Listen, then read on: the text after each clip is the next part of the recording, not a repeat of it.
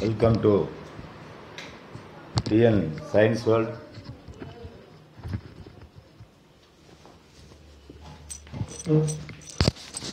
welcome to TN science world today we see the topic in tenth standard science unit nine solutions பத்தாம் வகுப்பு அறிவியலிலே அழகு ஒன்பது கரைசல்கள் என்கின்ற பாடத்தை பற்றிய பாடக்கருத்துக்களை பற்றி நாம் இங்கு காண இருக்கின்றோம்.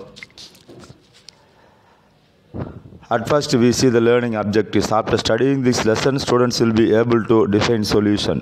கரைசல்களை வரையறுத்தல். Recognise the types of solutions கரைசல்களுடைய வகைகளை அறிந்து கொள்ளுதல். Analyse the factors influencing solubility கரைதிறனை பாதிக்கக்கூடிய காரணிகளை பகுப்பு ஆய்வு செய்தல். Explain the various modes of expression of concentration of solution கரைசல்களின் செறிவுகளை வெளிப்படுத்தும் வெவ்வேறு முறைகளை விளக்குதல். Calculate the solubility of solutes and solvents கொடுக்கப்பட்டுள்ள கரைப்பானில் கரைபொருளுடைய கரைதிறனை கணக்கிடுதல். Correlate the hydrated and anhydrated salts நீரேறிய உப்புக்கள் மற்றும் நீரற்ற உப்புகளாக மாற்றும் சோதனையை செய்தல்.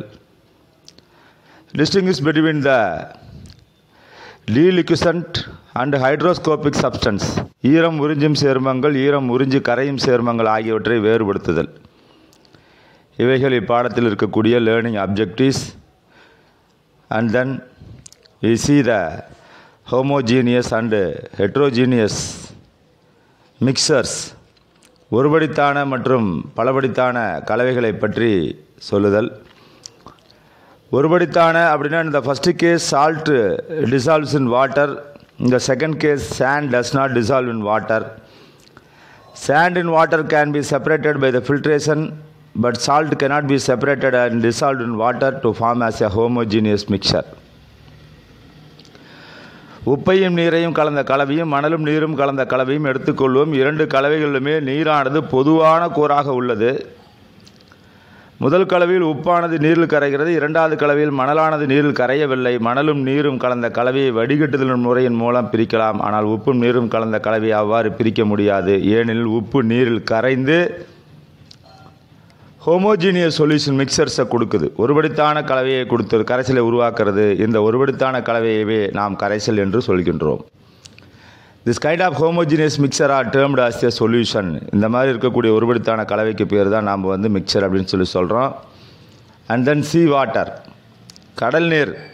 It is a mixture of many dissolved salts இதில் அதிக அளவிலே உப்புக்கள் கரைந்து காணப்படுகிறது. Air it is the mixture of gas of nitrogen oxygen carbon dioxide and other gases காற்றிலே அதிகப்படியான கலவைகள் கலந்திருக்கிறது. வாயுக்களிலே வந்து பார்த்திங்கன்னா nitrogen oxygen and carbon dioxide and other gases are mixed components of solution கரைசல் உள்ள கூறுகள் என்ன என்பதை முதல்ல நாம் சொல்லணும். In a solution the components which the which is present in the lesser அமௌண்ட்டை by weight is called solute solute means கரை பொருள் குறைந்த அளவு கரைபொருளும் and the component which is present in the larger amount by weight is called solvent அதிக அளவு கரைப்பானும் கொண்டதுக்கு பேர் தான் கரைசல்னு சொல்லி பேர். The solute get distributed uniformly throughout the solvent the process of uniform distribution of solute into solvent is dissolution அப்படின்னு சொல்லி பேர். So the solvent act as the dissolu- dissolution medium in solution The process of uniform distribution of solute into solvent is called as a dissolution அப்படின்னு சொல்லி பேர். சொல்யூஷன்னா என்ன அப்படிங்கிறத நம்ம சொல்லணும். குறிப்பிட்ட கரைபொருளில் குறிப்பிட்ட கரைப்பானில் குறிப்பிட்ட அளவு கரைபொருள் கரைந்து ஒரு கரைப்பானில் கரைபொருளானது கரைவதை கரைத்தல் என்கின்றோம். அதான் சொல்யூஷன் சொல்லி சொல்கிறோம்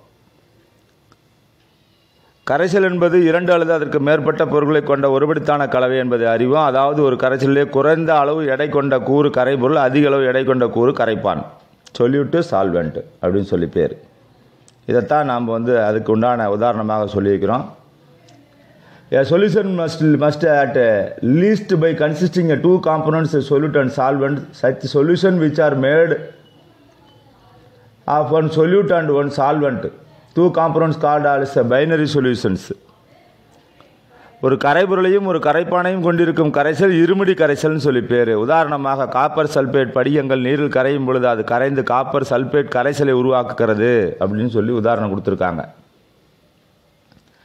And adding copper sulphate crystal in water it dissolves in water forming as a solution of copper sulphate as one the figure உனக்கு ஃபிகர் ஒன்று கொடுத்து வச்சிருக்குது. அதற்கு அடுத்தபடியாக The solution may, may contain more than two components, for example, if salt, sugar, and added in water. Both dissolved in water, forming as a solution. Here, two solutes are dissolved in one solvent. Such kind of solution which contains the components is called ternary solutions. Two solutes are dissolved in one solvent. Such kind of solution which are contains three components are called ternary. மும்மடி கலவை அப்படின்னு சொல்லி பேர் அதுக்கு மும்மடி கரைசல்னு சொல்லி பேர். Then types of solutions கரைபொருளுடைய வகைகள் என்ன அப்படின்னு பார்த்தோம்னா based on the physical state the solute and solvent கரைபொருள் கரைப்பானுடைய இயற்பியல் நிலையினுடைய வகைப்பாடு எப்படி இருக்குது அப்படின்றத பற்றி சொல்லணும். இங்கே வந்து நமக்கு ஒரு அட்டவணையை கொடுத்துருக்காங்க. சாலிடு சாலிடாக இருந்ததுனாக்கா தங்கத்தில் கரைக்கப்பட்ட copper copper dissolved in gold liquid சாலிடாக இருந்தால் mercury with sodium amalgam liquid solution solid லிக்விடாக இருந்ததுன்னா sodium chloride dissolved in water liquid லிக்விடாக இருந்ததுன்னா ethyl alcohol dissolved in water gas லிக்விடாக இருந்ததுன்னா carbon dioxide dissolved in water for example soda water gaseous சொல்யூஷனில் liquid கேஸாக இருந்ததுன்னா water vapour air cloud உண்டாகிறது. Gas கேஸாக இருந்ததுன்னா mixture of helium oxygen gases இதெல்லாம் வந்து நமக்கு டேபிளாக கொடுத்துருக்காங்க. இருமடி கரைச்சலினுடைய வகைகள். அதை பற்றி நாம் முழுசாக தெரிஞ்சு வச்சுக்கணும். Based on the types of solvent கரைப்பானின் தன்மையை அடிப்படையாக கொண்ட வகைப்பாடு எப்படி இருக்கும்? அப்படின்னு பார்த்தோம்னா on the basis of the type of solvent solution are classified into two types இரண்டு வகையாக பிரிக்கிறாங்க. நீரில் பெரும்பாலான பொருட்கள் கரைகிறது. எனவே வந்து most of the substance are soluble in water that is why what is called as a universal solvent உலகளாவிய கரைவா கரைப்பான் அப்படின்னு சொல்லி சொல்லியிருக்கிறாங்க. அதற்கு அடுத்தபடியாக இதை வந்து ரெண்டாக பிரிக்கிறாங்க. ஒன்று அக்யூஸ் சொல்யூஷன் இன்னொன்று நான் அக்யூஸ் சொல்யூஷன் நீர் நீரற்ற கரைசல் நீர் கரைசல் அப்படின்னு சொல்லி ரெண்டு வகையாக பிரிக்கிறாங்க. அக்யூஸ்னா நீர் கரைசல் நான் அக்யூஸ்னா நீரற்ற கரைசல். வேறு ஒன்றுமே கிடையாது. கொடுக்கப்பட்டுள்ள கரைபொருள் தண்ணீரில் கரைந்து ஒரு கரைசலை உண்டு பண்ணோம்னா அதுக்கு பேர் வந்து அக்யூஸ் சொல்யூஷன் நீர் கரைசல் தண்ணீரை தவிர dissolved in carbon disulphide iodine dissolved in carbon tetrachloride தண்ணீரை தவிர வேறு ஏதேனும் கரைப்பானில் கரைத்து ஒரு கரைசலை உண்டு பண்ணோம்னா அதுக்கு பேர் நீரற்ற கரைசல்னு சொல்லி பேர். இதுக்கு பேர் non aqueous solution The solution in which water acts as a solvent called as aqueous solution in general ionic compounds are soluble in water to form as aqueous solution. More readily than covalent components. Example common salt in water sugar in water copper sulphate in water எந்த ஒரு கரைசலில் கரைபொருளை கரைக்கும் கரைப்பானாக நீர் செயல்படுகிறதோ அக்கரைசல் நீர் கரைசல் எனப்படுகிறது. பொதுவாக சகப்பிணைப்பு சேர்மங்களை விட அயனி பிணைப்பு சேர்மங்கள் நீரில் எளிதில் கரைந்து நீர் கரைசலை உருவாக்குறது உதாரணமாக நீரில் கரைக்கப்பட்ட சர்க்கரை நீரில் கரைக்கப்பட்ட காப்பர் சல்ஃபேட் போன்றவை. The solution in which the liquid other than water act as a solvent is called as a non aqueous solution எந்த ஒரு கரைசல் நீரை தவிர பிற திரவங்கள் கரைப்பானாக செயல்படுகிறதோ அக்கரைசல் நீரற்ற கரைசல் என அழைக்கப்படுகிறது. நீரை தவிர பிற கரைப்பான்கள் நீரற்ற கரைப்பான்கள் என அழைக்கிறோம். பொதுவாக alcohol benzene ether carbon dioxide generally alcohol benzene ether carbon disulphide acetones etc. are used as non-aqueous solvents. Example for non-aqueous solution, sulfur dissolved in car carbon disulfide, iodine dissolved CCL four CS two இதெல்லாமே வந்து பார்த்திங்கன்னா accuse நான் aqueous solution நீர் கரைச்சல் நீரற்ற கலைச்சலுக்கு எடுத்துக்காட்டு based on the amount of solute கரைபொருள் அளவை கடை அடிப்படையாக கொண்ட வகைப்பாடு பேஸ்ட் ஆன் த அமௌண்ட் கரைபொருளினுடைய அளவை அடிப்படையாக கொண்ட வகைப்பாடு It will be classified into three types the amount of solute that can be dissolved in the given amount of solvents limited under given any given conditions. Basis on the amount of solute in the given amount of solvent solution can be classified into three types. Saturated solution Tevitia karaisal unsaturated solution Tevita karaisal super saturated solution Adidevitiya karaisal saturated solution தெவிட்டிய கரைசல் unsaturated solution தெவிட்டாத கரைசல் super saturated கரைசல் அது அதிதெவிட்டிய கரைசல் என மூன்று வகையாக பிரிக்கப்படுகிறது. இப்போ சேச்சுரேட்டட் அப்படின்னா எப்படி இருக்கும் அப்படின்னாச்சுன்னா saturated a solution in which no more solute can be dissolved in definite amount of solvent. எந்த ஒரு கரைசலிலும் மேலும் கரைபொருளை கரைக்க இயலாதோ அக்கரைசல் தெவிட்டிய கரைசல் எனப்படும். For example thirty six gram of sodium chloride in hundred gram of water at twenty degree twenty five degree centigrade form as a saturated solution இருபத்தி ஐந்து gram வெப்பநிலையிலே நூறு கிராம் நீரிலே முப்பத்தி ஆறு கிராம் சோடியம் குளோரைடு உப்பினை கரைத்தால் தெவிட்டிய கரைசலை உருவாக்கப்படுகிறது. அடுத்து unsaturated unsaturated solution is one that contains less solute that that, than that of the saturated the at solution given temperature ஒரு குறிப்பிட்ட வெப்பநிலையிலே தெவிட்டிய கரைசல் கரைந்துள்ள கரைபொருளுடைய அளவை விட குறைவாக கரைபொருள் அளவை கொண்ட கரைசல் தெவிட்டாத கரைசல் உதாரணமாக இருபத்தைந்து டிகிரி சென்டிகிரேட் வெப்பநிலையிலே நூறு கிராம் நீரிலே பத்து அல்லது இருபது கிராம் அல்லது முப்பது கிராம் சோடியம் குளோரைடு உப்பினை கரைத்து தெவிட்டாத கரைசலை உண்டாக்க முடியும். அதற்கு அடுத்தபடியாக சூப்பர் சேச்சுரேட்டட் அதிதெவிட்டிய கரைசல்னால் என்ன அப்படின்னா super saturated solution is one that contains more solute than the saturated solution at a given temperature குறிப்பிட்ட வெப்பநிலையில் தெவிட்டிய கரைசல் உள்ள கரைபொருள் அளவை காட்டிலும் அதிகமான கரைபொருளை கொண்ட கரைசல் ஐதெவிட்டிய கரைசல் எனப்படும். உதாரணமாக இருபத்தி ஐந்து டிகிரி சென்டிகிரேட் வெப்பநிலையிலே நாற்பது கிராம் சோடியம் குளோரைடு நூறு கிராம் வாட்டர் கொண்ட சேச்சுரேட்டட் அதி சூப்பர் சேச்சுரேட்டட் சொல்யூஷன் சொல்லி பேர். The state can be achieved by altering any other conditions like temperature, pressure, supersaturated solution are unstable and solute reappearing and crystal when the solution is distributed. என்ன சொல்லியிருக்கிறாங்க அப்படின்னாச்சுன்னா வெப்பநிலை அழுத்தம் போன்ற சூழ்நிலைகள் மாறுவதன் மூலமாக கரைதிறனை மாற்ற இயலும். அழுதவிட்டிய கரைசலானது நிலையற்றது. கரைசல் உள்ள முகவியை சிறிதளவு அசைத்தாலும் மீண்டும் படிகங்கள் தோன்ற ஆரம்பிக்கும் என்பதுதான். அடுத்தது கான்சன்ட்ரேட்டட் அண்ட் டைலூட் சொல்யூஷன் செறிமிக்க மற்றும் நீர்த்த கரைசல்கள்னால் என்ன அப்படின்னு சொல்லி சொல்லணும். The one which contain higher amount of solute per the given amount of solvent said be concentrated ஒரே அளவு கரைப்பானில் வெவ்வேறு அளவு கரைபொருளை கொண்ட இரு கரைசல்களை ஒப்பிட்டு செறிவை குறிக்கிறது. உதாரணமாக இரண்டு குவளைகளை தேநீர் எடுத்துக்கொண்டு இரண்டு குவளைகள் தேநீரை அருந்துகிற அதில் ஒன்று மற்றொன்றை விட அதிகமாக இனிப்பாக இருக்கிறது. அந்த மாதிரிலாம் வந்து நம்ம நிறைய உதாரணங்களை சொல்லலாம். எது இனிக்கிறதோ அது மற்றொன்றை விட சர்க்கரை அதிகமாக கலந்துள்ளது என்பதெல்லாம் நம்ம உதாரணத்துக்கு சொல்லலாம். சர்க்கரை அதிகமாக உள்ள தேநீரானது திடமானது என்று கூறுவோம். ஆனால் ஒரு வேதியிலார் இதனை செறிவுமிக்க என்று கூறுவாங்க. இப்படி தான் இதை வந்து சொல்லியிருக்கிறாங்க. ஆனால் வந்து பார்த்தோம்னா the one in which contain higher amount of solute per given amount of solvent be said concentrated ஒரே மாதிரியான கரைபொருளையும் கரைப்பானையும் கொண்ட இரு கரைசல்களை ஒப்பிடும் பொழுது எதில் அதிக அளவு கரைபொருள் உள்ளதோ அதனை செறிவுமிக்க கரைசல் என்றும் எதில் குறைந்த அளவு கரைபொருள் உள்ளதோ அதனை நீர்த்த கரைசல் என்றும் நாம் கூறலாம். Solution is another said to be a dilute solution தயார் schematically represented by the figure இங்கே கொடுத்துருக்குது நமக்கு. இந்த ஃபிகரில் வந்து சொல்லியிருக்காங்க. அடுத்தது சால்யூபிலிட்டி கரைதிறன் அப்படின்னு சொல்லி பேர். கரைதிறனா என்ன அப்படின்னாச்சுன்னா solubility is defined as the number of grams of solute that can be dissolved to 100 gram of solvent to form an a saturated solution at a given temperature and pressure. ஒரு குறிப்பிட்ட வெப்பநிலை மற்றும் அழுத்தத்திலே நூறு கிராம் கரைப்பானில் கரைந்து தெவிட்டிய கரைசலை உருவாக்க தேவையான கரைபொருளுடைய கிராம்களுடைய எண்ணிக்கை அதனுடைய கரைதிறன் எனப்படும். ஃபார் எக்ஸாம்பிள் வந்து பார்த்தீங்கன்னா twenty five gram thirty six gram of sodium chloride need to dissolve hundred gram of water to form as a saturated solution at 25 degree centigrade.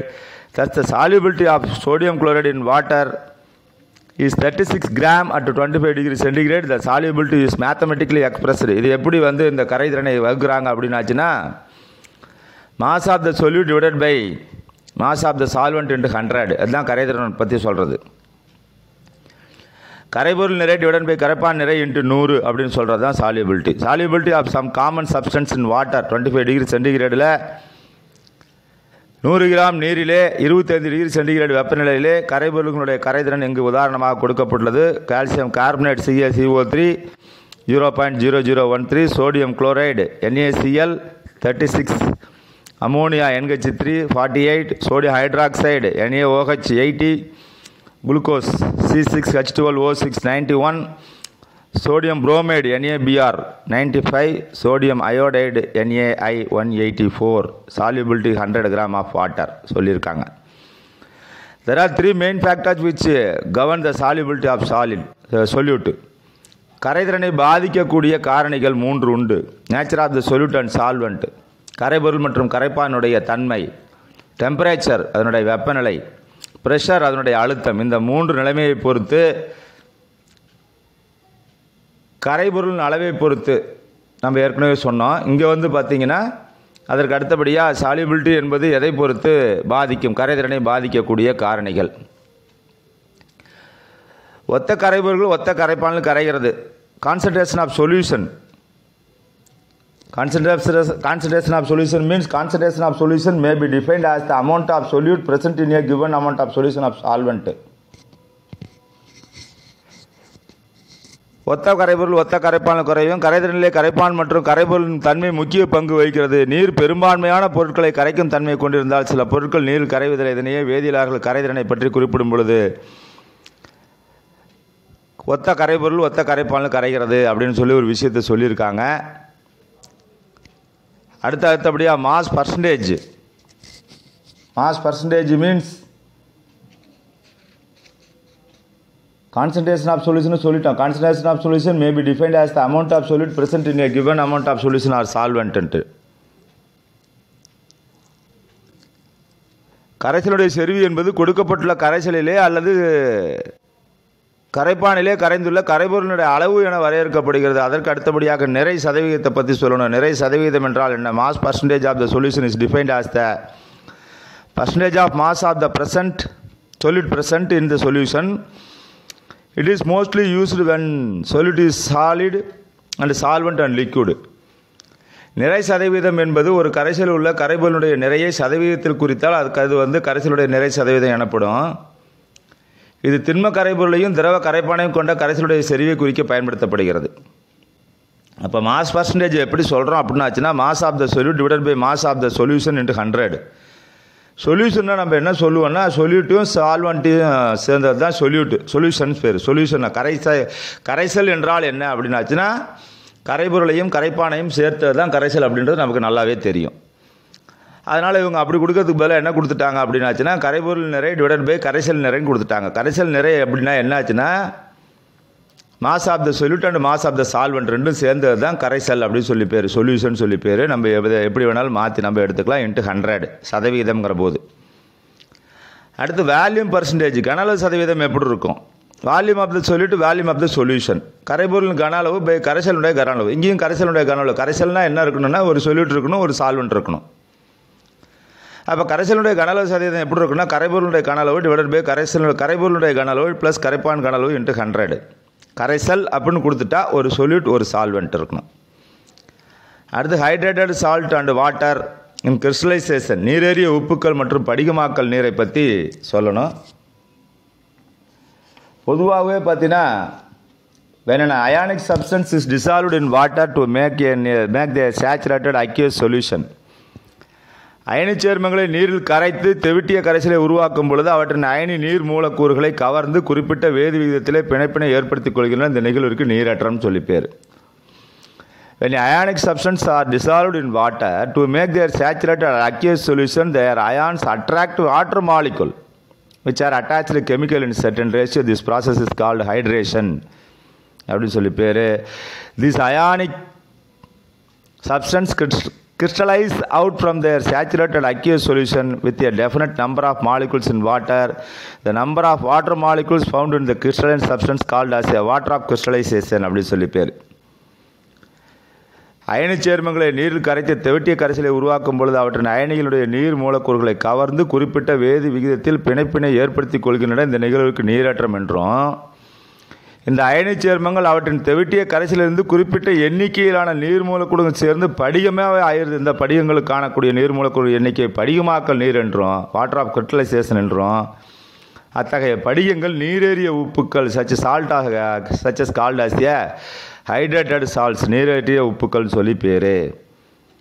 அடுத்தபடியாக பார்த்தீங்கன்னா on heating the hydrated crystalline salts they lose their they lose their water and crystallisation and become ATMA amorphous amorphous of or or lost their color.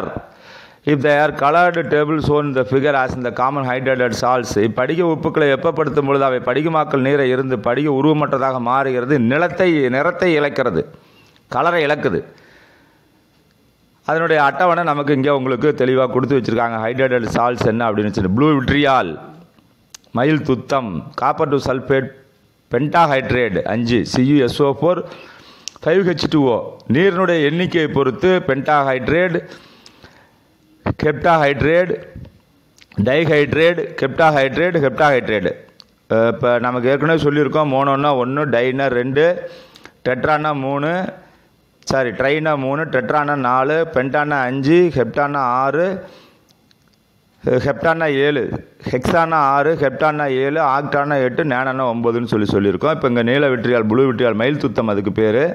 அதனுடைய வாய்ப்பாடு அடுத்து Epsom Salz Epsom உப்பை பற்றி கொடுத்துருக்காங்க. Magnesium sulphate hepta hydrate ஜிப்சத்துக்கு பேர் பார்த்தீங்கன்னா calcium sulphate dihydrate C A S O four two H two O green vitriol அப்புறம் அயன் டூ சல்ஃபேட் ஹெப்டாஹைட்ரேட்.